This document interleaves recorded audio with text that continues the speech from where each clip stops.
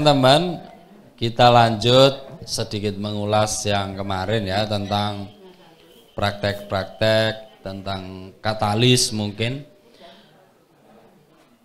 Ada yang belum paham tentang katalis? Maksudnya katalis 1, 2, 3. Belum. Oh belum. Kayaknya sudah.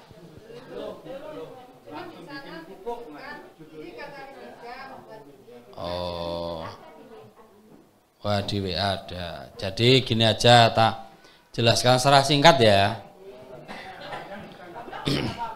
oh gitu. Jadi katalis satu ini dipakai untuk membuat urea cair.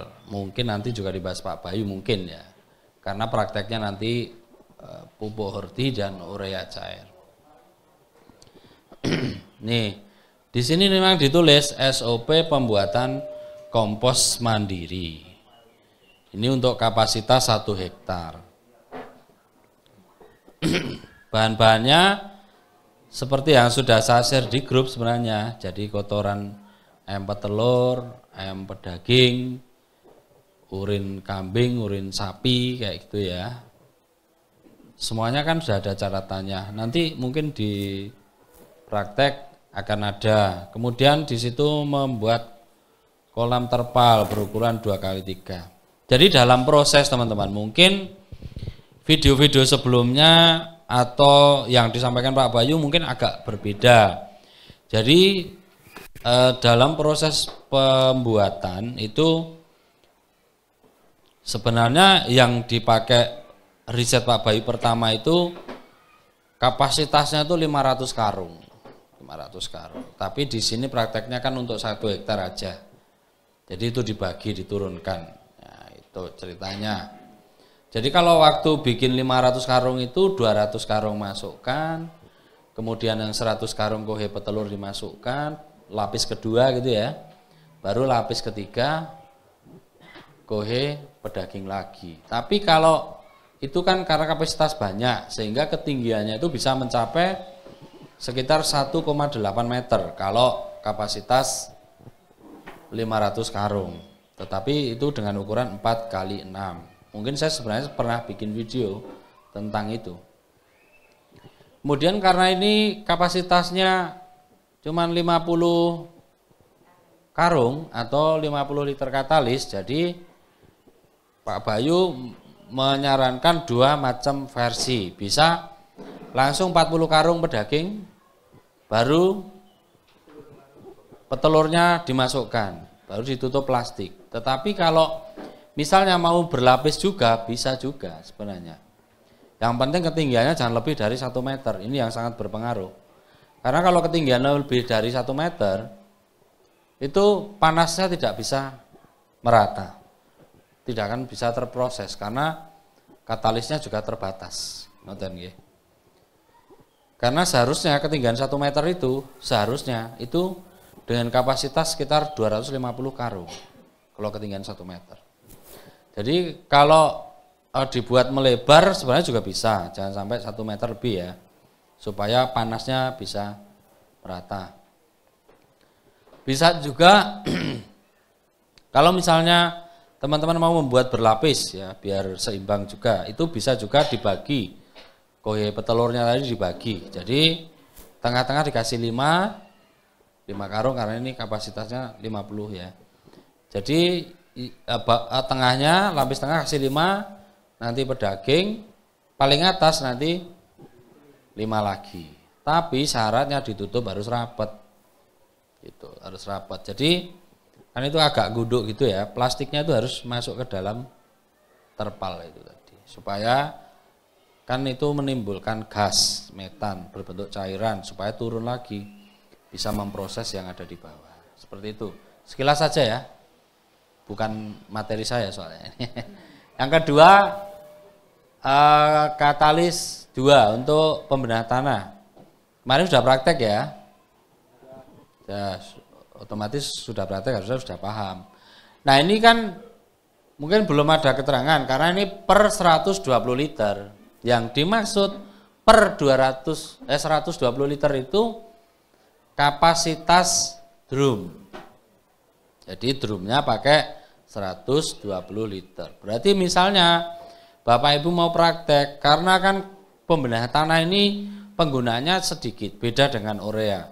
Kalau pembenahan tanah itu cuma 250 mili untuk satu tangki. Jadi misalnya satu hektar kan cuma paling butuh 8 liter. Nah ini misalnya Bapak membuat cuma 5 liter berarti kapasitas dibagi 10. Gitu. Ya. Jadi cari ember yang kapasitas 12 liter gitu. Itu aja. Misalnya jenengan katalisnya 10 liter ya bagi 5. Semua bahan yang tertera di situ. Termasuk apa itu humus bambu ya itu dibagi juga semua. Termasuk dedak dibagi juga. Caranya seperti itu supaya komposisinya tetap sama cuma dikecilkan aja gitu. Kadang-kadang kan bingung. Soalnya kalau komposisinya nggak sama otomatis hasilnya juga akan berbeda. Kemudian ada katalis tiga.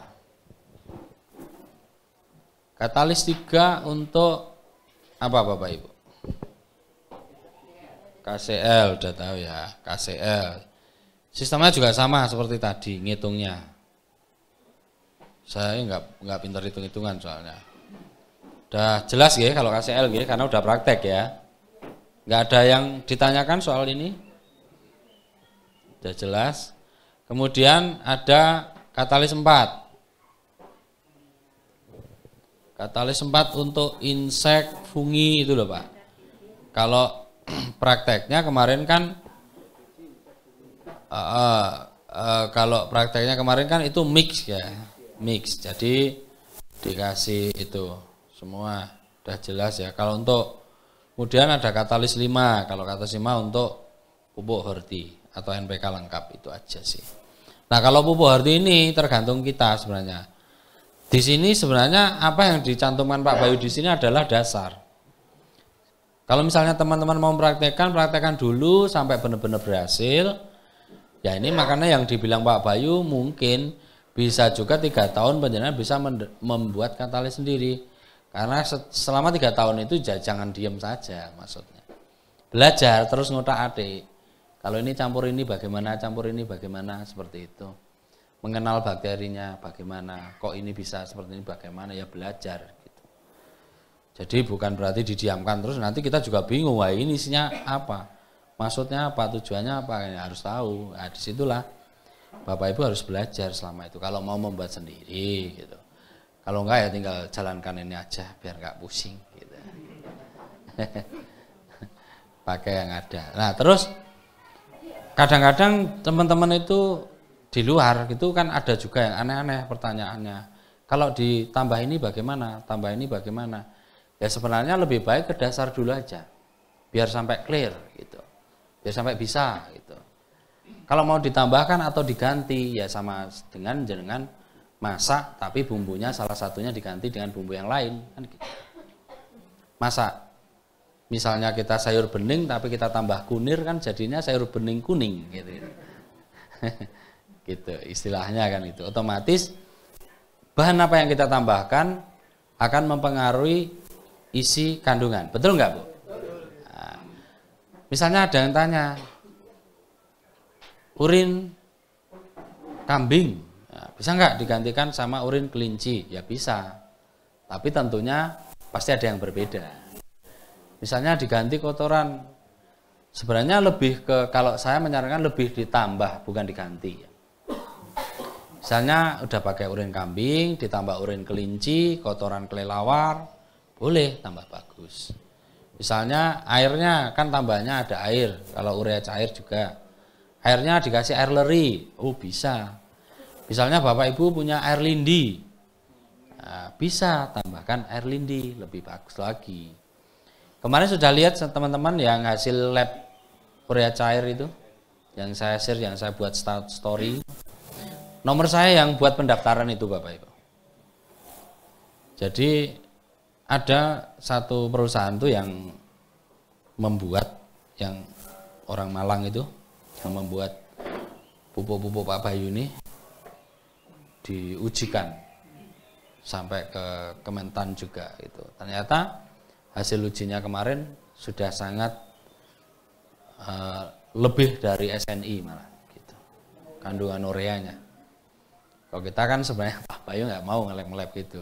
Laboratorium ya bikin tanaman pupukan berhasil orang kan gitu.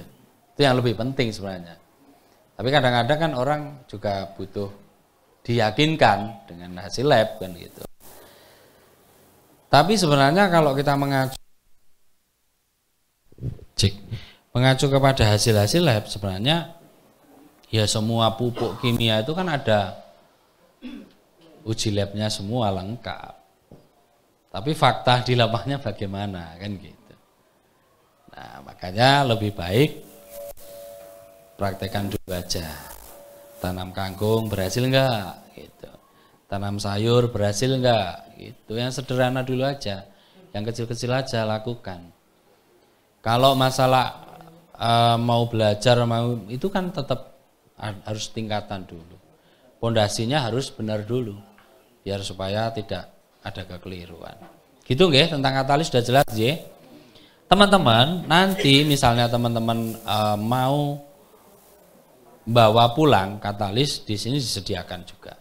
Khusus untuk teman-teman pelatihan. Kalau hari-hari biasa mungkin kadang tidak ada, tapi insya Allah masih ada. Ya, nanti ini kita bagikan apa formulir untuk diisi, tapi yang isi yang khusus yang mau bawa pulang aja ya, bukan yang untuk dipaketkan. Kalau dipaketkan nanti bisa WA ke saya aja. Karena kebetulan untuk katalis yang ngurusin saya semua. Jadi nanti bisa WA kalau mau dikirim. Kalau misalnya mau dibawa langsung, soalnya ini kemasannya itu kan 25 liter. Misalnya mau bawa 5 liter kan harus masukkan ke jerigen yang lebih kecil biar disiapkan teman-teman.